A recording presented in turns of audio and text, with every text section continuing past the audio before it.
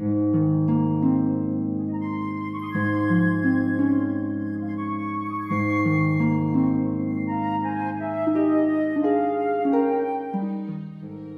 a tutti ragazzi e benvenuti in questo nuovo video riguardante Pokémon Sun e Pokémon Moon.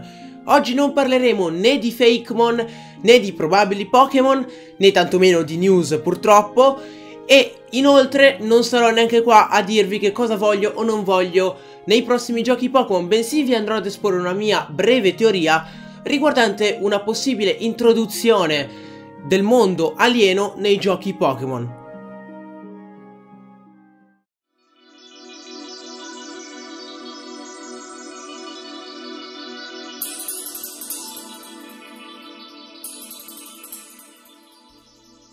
È risaputo che sin dalla prima generazione esistono palesi riferimenti che affermano l'esistenza di Pokémon alieni, basti pensare a Clefairy giunto dalla luna sull'omonimo monte, oppure a Staryu, il quale pare che di notte comunichi con le stelle del cielo. Nonostante queste e moltissime altre evidenze, per ora il contatto con possibili mondi extraterrestri è rimasto ancora un sogno accarezzato da molti e che spesso si concretizza in leggende metropolitane, come ad esempio quella del centro spaziale di Verde Azzupoli. Che sia la settima generazione quella prescelta per tale incontro, del resto il nome dei due titoli, Sole e Luna, sono molto legati al mondo dello spazio. Inoltre, un altro punto a favore di questa feature, a mio parere quanto mai probabile, sarebbe l'analogia con l'episodio Delta di Pokémon Rubino Omega e Zaffiro Alpha e, più in generale, con tutta la regione di Oen, considerata la presenza delle cascate Meteora.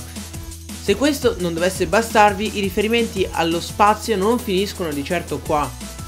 Anche in Pokémon X e Y esistono chiari collegamenti con l'universo, come ad esempio la sesta palestra nella quale sarà necessario superare un percorso ambientato proprio nello spazio.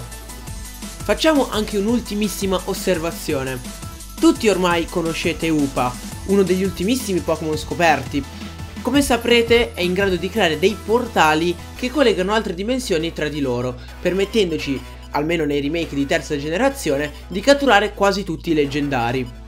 Secondo una delle moltissime teorie riguardante i temutissimi buchi neri presenti in tutto l'universo dove la materia, una volta inghiottita, sembra non tornare più indietro, essi sarebbero, guarda caso, proprio degli accessi per altri universi differenti dal nostro.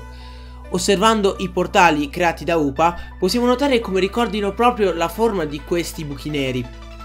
Potrebbe tutto ciò essere un avvertimento i prossimi giochi potrebbero finalmente includere anche un mondo extraterrestre. Ci si potrà muovere tra costellazioni, pianeti o addirittura tra dimensioni sconosciute? Non sarebbe di certo la prima volta considerando gli eventi del Monte Corona in Pokémon Platino. A voi la parola. Avete riscontrato qualche altro punto che possa sostenere questa teoria?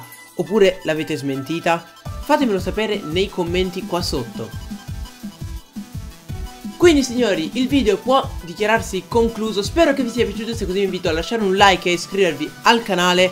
Commentate con la vostra qua sotto come ho già detto. E mi raccomando passate dai social che trovate in descrizione. Detto ciò noi ci becchiamo in un prossimo video